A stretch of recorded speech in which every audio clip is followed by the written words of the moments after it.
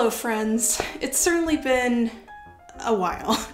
Last month was eventful, to say the least, because if you can't already tell, I have moved, and across the country, no less, so please bear with me while I get my bearings in my new space. I also had a number of simultaneous health crises last month that gave me lots of time to sit in bed thinking about my poor health and imagining myself as a weak and feeble Victorian child with consumption. Which of course got my mind back on one of my favorite topics ever, Victorian medicine, which many of you have already heard me chat about in my video on the subject from a couple years ago.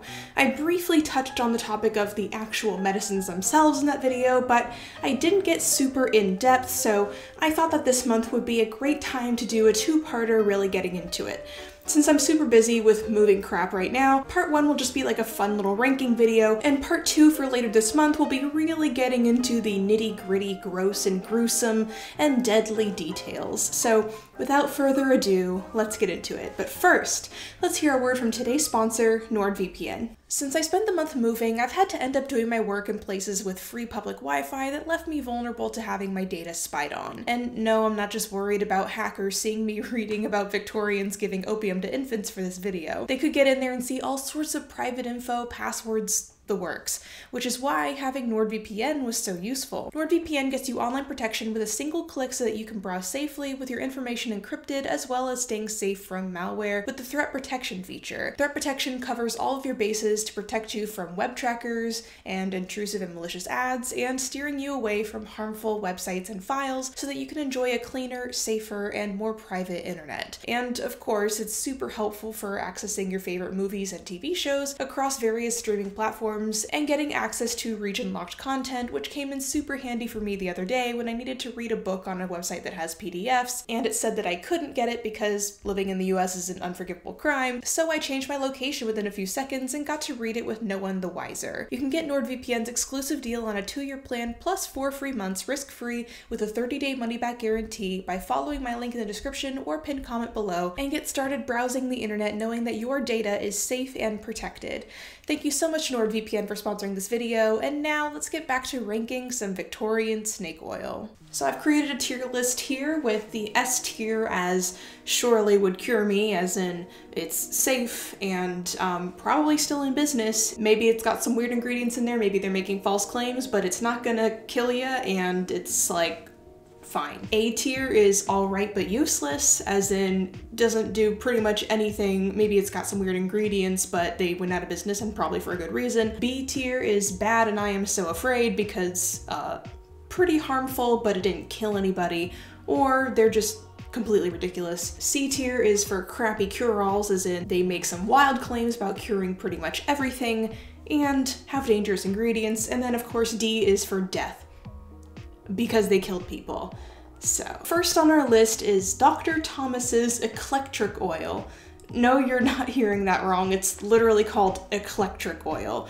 This thing started appearing in ads around 1858, promoting itself as having magical pain killing and healing properties. And buckle up because the ingredients in this oil are well, they're gonna get increasingly more upsetting. It was made of oregano oil, sassafras, hemlock, checkerberry, turpentine, camphor, balsam fir, guaiac, catechu, alcohol, chloroform, and opium. Yeah, I guess you wouldn't feel pain if you're just fucking unconscious, which is frankly a running theme for a lot of patent medicines. So still unsure where electricity is involved here, but I think it was more of just a nifty marketing gimmick, much like the electric corsets of later decades. For the eclectric oil, I think, hmm, due to the chloroform and the opium, I'm going to put it under bad and I am so afraid. No idea why a cat was so part of their, um, advertising line, but uh, the cat pretty much shows up everywhere. I really hope that as a result, nobody gave it to their fucking cat, please. Okay, so the next one is probably one of my favorite names on this list. It's called Dr. Williams Pink Pills for Pale People. We gotta love alliteration. They were really into alliteration for a lot of these. The Dr. Williams pink pills for pale people were promoted as an iron-rich tonic to help the blood and nerves cure anemia, malaria, open wounds, depression, lack of appetite, eczema, rickets, and low energy. Oh, and paralysis. it was first created in 1886 using a mixture of iron dioxide and Epsom salts, and was actually sold quite widely in China since traditional Chinese medicine had already been using a pill-style medicine for years, so it was enmeshed easily in already formed beliefs over there. But though it claimed to be a cure-all and therefore was ineffective for most things, its iron content actually made it useful for treating anemia. So for this one, I mean, you gotta love the marketing gimmick and honestly the appeal of pink pills. Here's the thing, I would put it under crappy cure-alls just because it was literally marketed as a cure-all, which it cured basically one thing. So, you know, I'll put it under alright but useless because it was essentially not too dangerous. So we'll go alright but useless. So the next one on this list is ABC Liniment. This one was created in 1880 and sold until 1935. ABC Liniment was touted as a topical pain reliever. I can respect a patent medicine that isn't taken internally. The ABC comes from its main three ingredients, aconite, belladonna, and chloroform again, which are all highly toxic or otherwise dangerous, so it's no wonder that a large number of people who bought this medicine ended up poisoned or dead. Don't confuse this medicine though with an existing product called ABC Liniment Arnica oil, which has no relation and is not made of poison. So for this one, tough choice, but I think I'm gonna go with death for I think obvious reasons. Okay, here's a fun one. I mean, I love one that has a consistent marketing theme. This is easy enough to infer from its name, but bile beans was used as a laxative starting around the 1880s. At first it was marketed as Charles Ford's bile beans for biliousness, again with the alliteration, because if there's one thing the Victorians loved, it's alliteration. Although this one seems fairly straightforward, it was actually yet another cure-all that claimed to help with fat loss and purifying the blood, and typical of these medicines, the company made false claims to make it sound more mystical and secretive than it actually was, claiming it had ingredients only known to the Australian Aboriginals, when in reality, it was just made of the extremely commonly used rhubarb, menthol, licorice, and cascara. Despite being convicted of fraud and false advertising because of this in 1905, it was sold well into the 80s, though the ingredients changed over time. And of course, most of the ads that you'll see regarding this medicine involve weight loss because, of course, it's a laxative, so that was really the only effective result that it could possibly claim. But, um, I don't stand by that. Um, laxative for weight loss is a very bad idea. Please don't do it. Stay far away.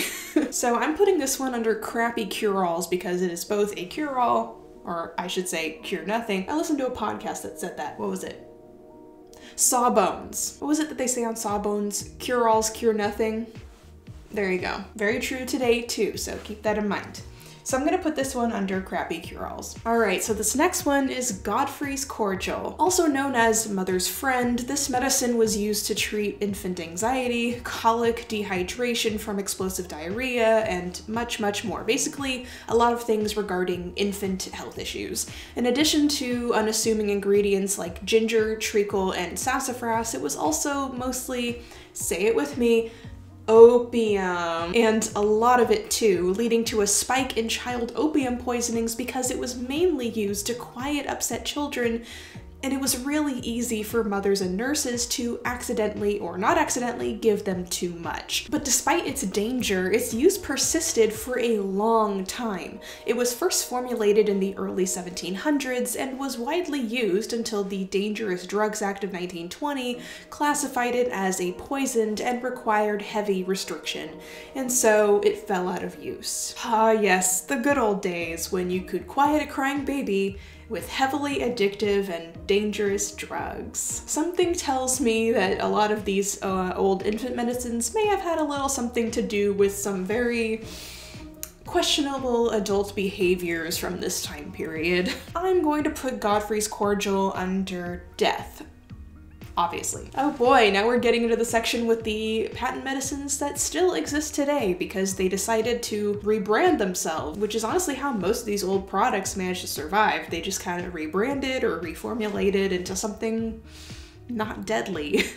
so, Coca Cola. I'm sure a lot of you already know this, but many of our modern day popular soft drinks were originally marketed for medical purposes, and the most famous of these is, of course, Coca-Cola. So Coca-Cola was originally invented in the 1880s by John Stith Pemberton in Atlanta, Georgia. And he later sold the rights to Coca-Cola to a businessman who made it blow up and therefore is now the most dominant popular soft drink in the world today. Hi guys, editing me here. And um, funny story with this section when I tell you we're all just gonna have a nice, good laugh. I forgot about the cocaine and Coca-Cola. Is it obvious yet how tired and sick I was while making this video? A lot of the research I did for this, I did like while I was on the plane moving and both before and after that, I had had maybe collectively like 10 hours of sleep over the course of like a week. Um, so of course, I forgot the most obvious one on this list was the, fact that the original Coca-Cola had like fucking cocaine because it didn't click in my head that Coca cocaine, coca, cocaine. I'm so sorry. So when you see me put Coca-Cola in a place on the tier list it shouldn't be, mm, let's just pretend it didn't happen. Let's just have a nice laugh and let's move on. We don't need to be going to the comments and lecturing me.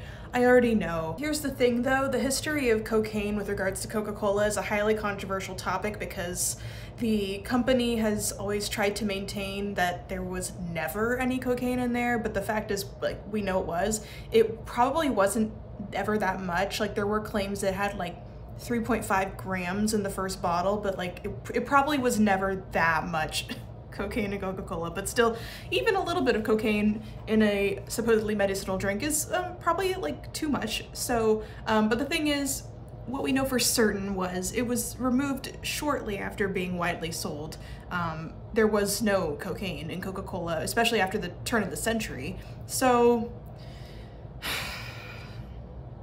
this is a toughie help. it should be noted, of course, that the origin of Coca-Cola with John Pemberton, um, he was a Confederate colonel during the Civil War, and he was also addicted to morphine, as many people were, and he wanted to find a solution to his morphine addiction, and so he developed Coca-Cola as an alternative to his original alcoholic version of the formula, as the temperance movement, which wanted to ban alcohol, was really picking up steam, and so a lot of the time a lot of medicines had alcohol in them, so it was really popular to find one that didn't have alcohol in it, but still had some sort of effect. The coca part of the formula provided some caffeine. Now, here's another one that at first was widely marketed as a sort of cure-all, which honestly was pretty par for the course with a lot of these medicines. Of course, it promised to fix morphine addiction, but it also said that it could cure headaches, indigestion, nerve disorders, and impotence.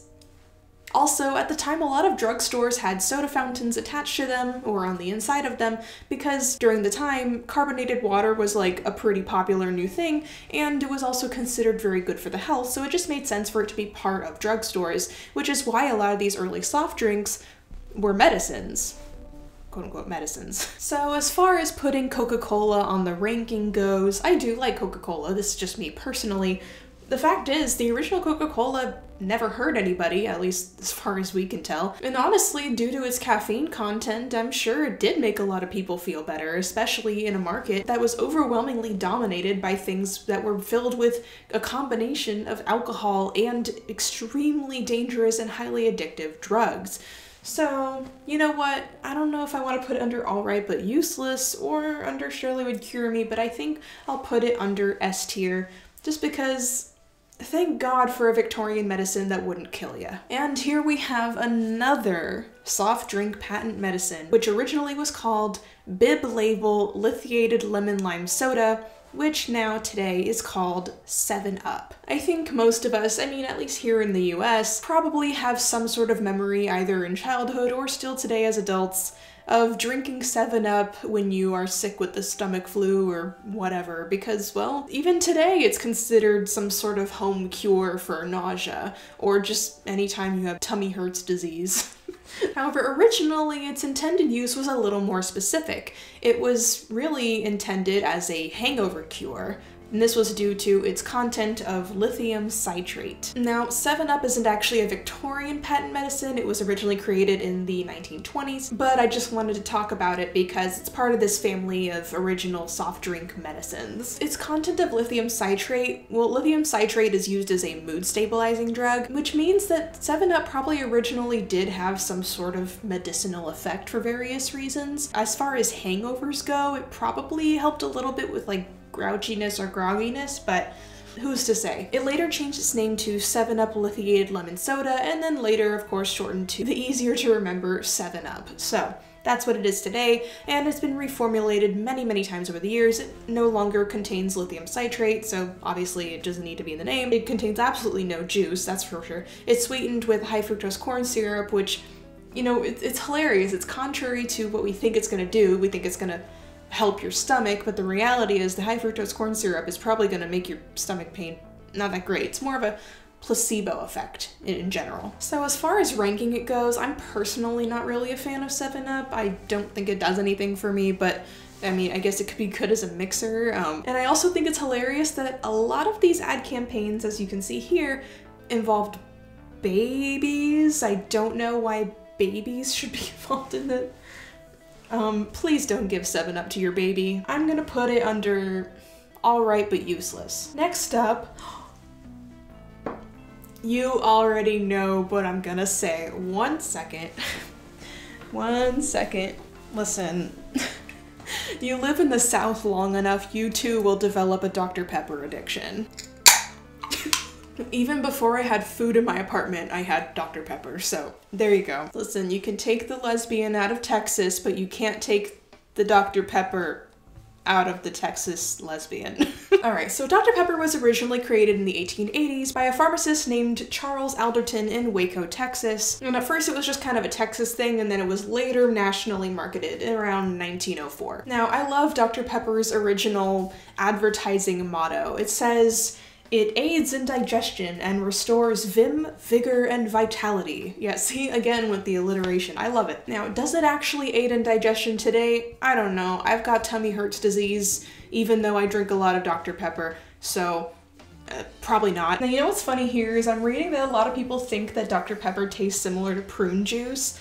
I have never thought that. I always thought that it had like kind of an aftertaste of like cherry, kind of. So that this belief has led a lot of people to think that there's prune juice in it, but there never was. So now there's not much to be said about Dr. Pepper's actual formula, whether it is its formula now, which is apparently kept in two halves in two separate Dallas banks, which is cracking me up.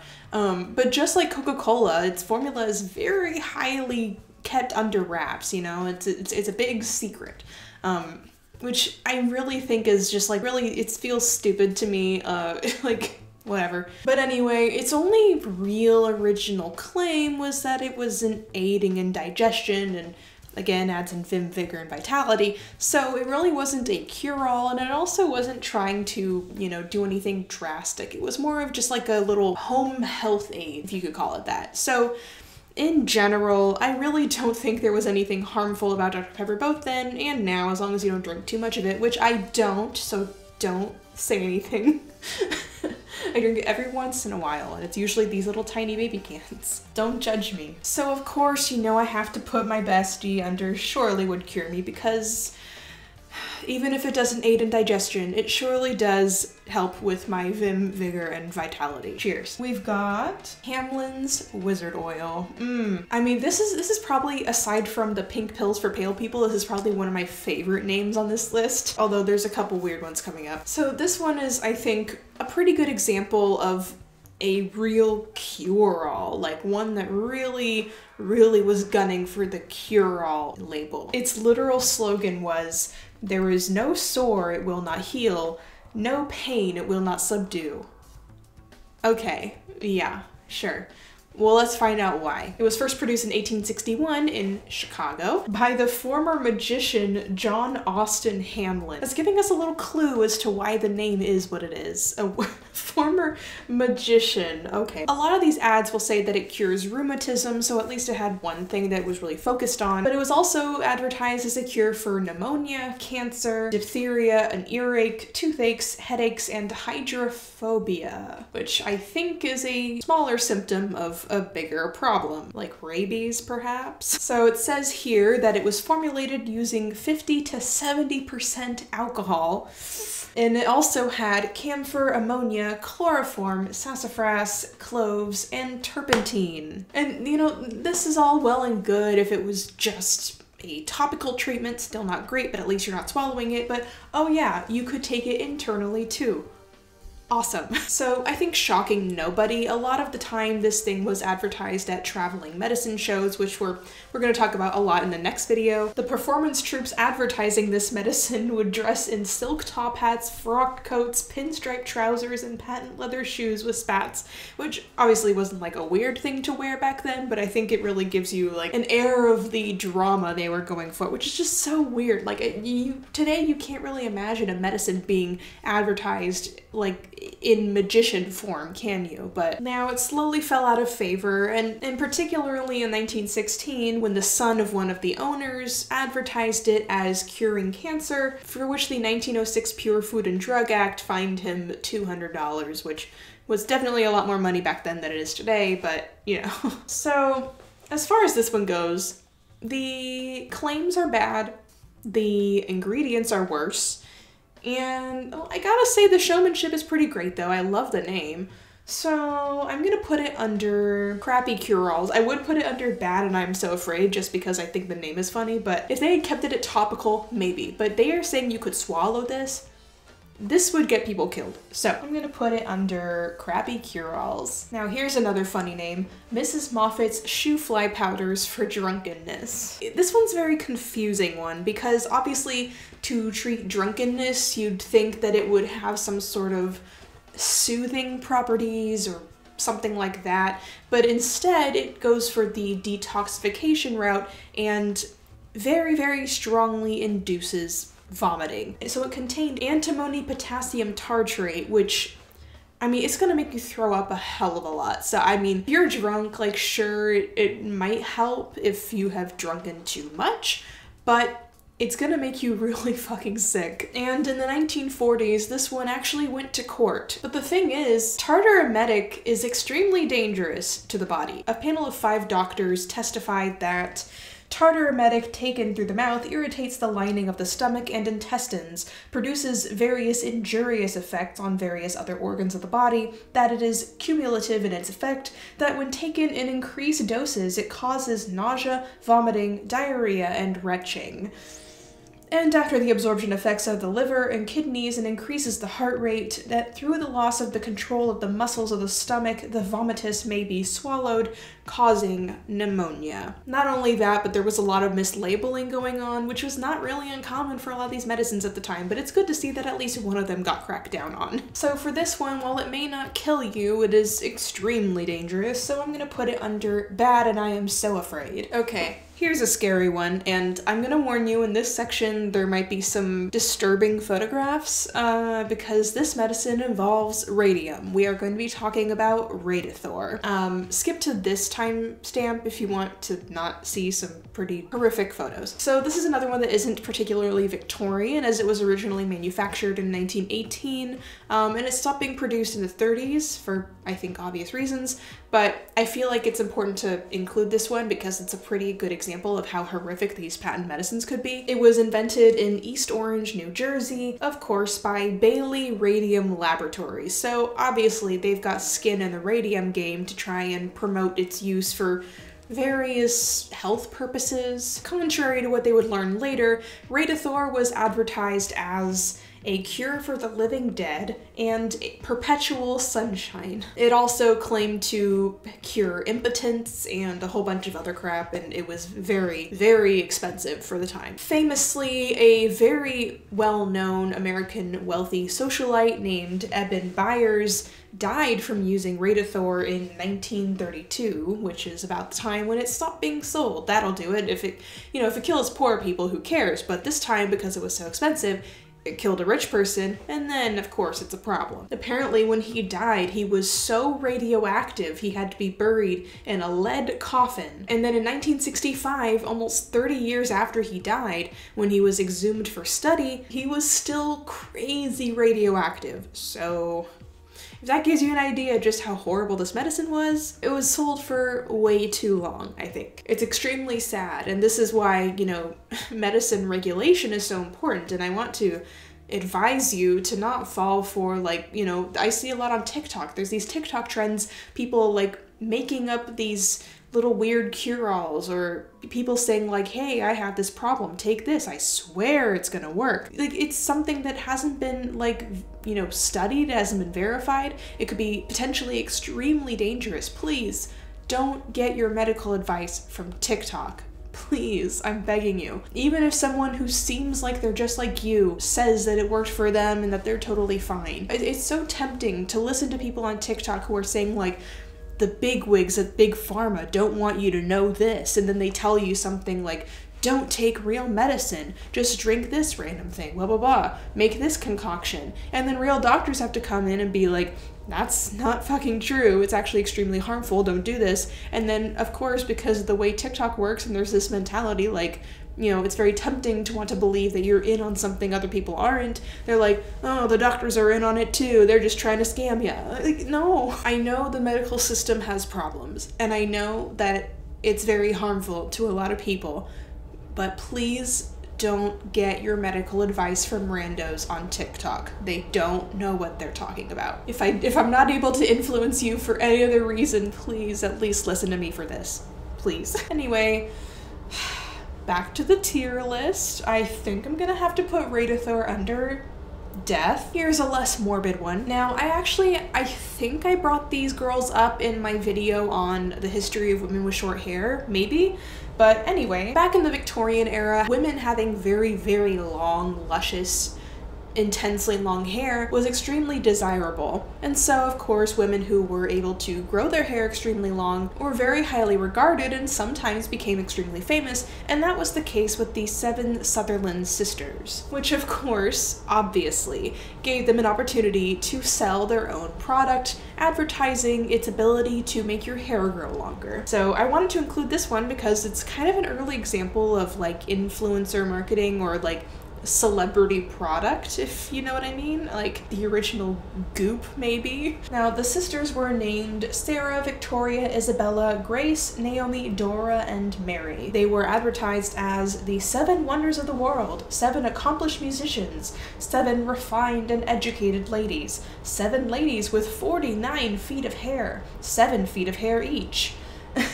And of course, they were they were kind of like the original what Partridge Family or whatever because they all also could play instruments and they would perform uh, musical acts, obviously showing off their hair at the same time. And so they patented the lucky number seven Seven Sutherland Sisters hair grower, which cost about sixty cents for four ounces of this like liquid, and also sometimes advertised as hair fertilizer, which is hilarious. I love that. The ingredients were borax, salt, quinine, bay rum, and cantharides, which was definitely an irritant, so honestly would not want that in any hair product that I buy. So yeah, and the, the hair growth tonic was extremely popular and sold very well. So, you know, good for them, girl bosses, but it probably gave a lot of people a seborrheic dermatitis or something. Unfortunately, the Seven Sisters didn't tolerate their immense fame very well and got increasingly strange as the years went on. It, it's very sad, and maybe at some point I'll make a whole video about them, but yeah. The thing is, is it gonna help you? No, honestly, the ingredients are pretty bad. Not deadly, but pretty bad, so I'm gonna put it under bad and I am so afraid. Frankly, I, I I'm not entirely sure they actually even used it themselves. It probably was just like a weird marketing thing. They used their names. So. Who knows? Anyway, so the last one on our list is going back to soft drink town. We have Hires Root Beer, which actually is another one still sold today. It was created in Philadelphia by a pharmacist named Charles Elmer Hires, and its medicinal slogan was Join Health and Cheer, drink Hires Root Beer, which, um, considering the fact that at the time root beer was made of sassafras, and sassafras contains uh, carcinogens, which is why it was banned as an ingredient in the 1960s.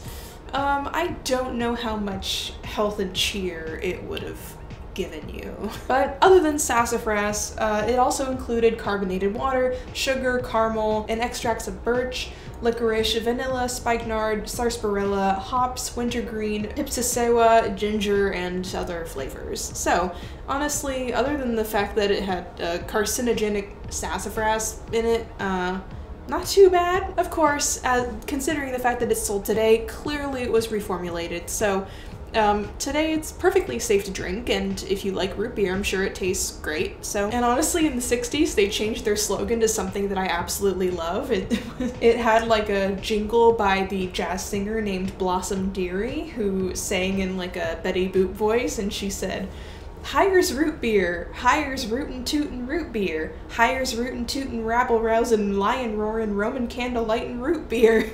I love that. I I really do love that. Although I'm not a fan of root beer. Would it cure me? No. I guess it's alright, as long as you don't drink a lot of it.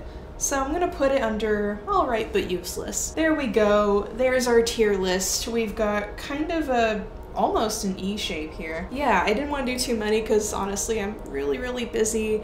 Um, I'm still kind of trying to get everything set up, but thank you for coming on this journey with me through a few of my favorite and honestly most terrifying patent medicines. And join me next week for a more in-depth exploration of the world of Victorian patent medicines and just how grotesque and horrific and deadly it could possibly get, which was a lot, I'll tell you that. Can't wait to see then. I'm still working on fixing up my place. Um, I'm sorry you can hear the uh, heater right now and it's a little echoey in here, so thank you for putting up with my potentially bad audio. I'll probably get like some soundproofing in here, um, but yeah, I'm really excited to you know, have some new adventures with you in my new space, in my new city. And yeah, so please stay healthy, don't take pan medicines, uh, even the ones today who don't sound like they are. And until next time, wash thy hands, wear thy mask, and don't take your medical advice from TikTok.